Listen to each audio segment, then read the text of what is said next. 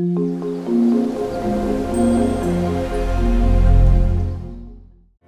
want to change the world with my music.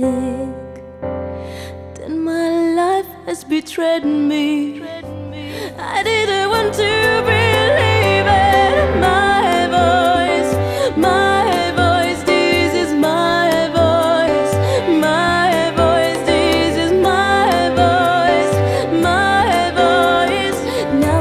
from